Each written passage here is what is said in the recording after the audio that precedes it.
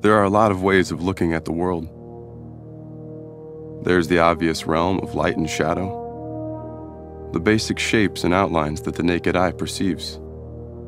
But there's also an entirely different perspective, a dynamic alternate reality lurking just below the surface.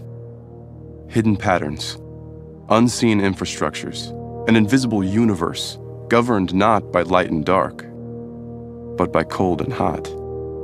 This is infrared thermal imaging, and it gives you the power to see the heat. Military technology that was reserved for the battlefield just a few short years ago has found its way into the palm of your hand.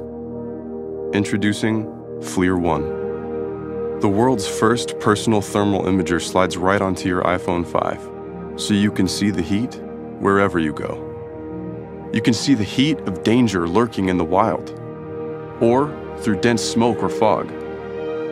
You can see the heat of mechanical malfunction, or from the onset of a fever. You can see the heat and where it's escaping, and from hiding intruders.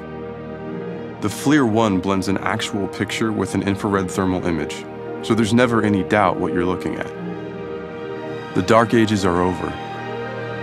Because once you see the heat, you'll never look at anything the same again. FLIR 1. See the heat.